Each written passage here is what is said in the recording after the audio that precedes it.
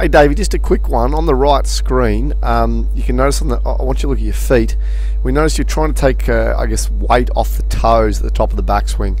That helps the, um, uh, the, the, I guess, the tailbone sit into that hip box a little bit. Um, but it's also making sure that you don't transfer your weight to your toes too early on the downswing. So that's a great drill. You know, you were talking about the right uh, leg there, and, and uh, I guess it rotating around to the right knee, I should say. That's fine for it to swivel as long as the um, you got a little bit of angle in there, which you do, but just concentrate on your weight more than anything on the um, on, your feet, all the way to the top like we've been doing, and you should be able to wiggle your toes a little bit on that right foot, definitely at the top of that swing, so that you can push down into the heel. So we'll experiment more with this, but um, your balance overall is looking far far better, um, which is great news.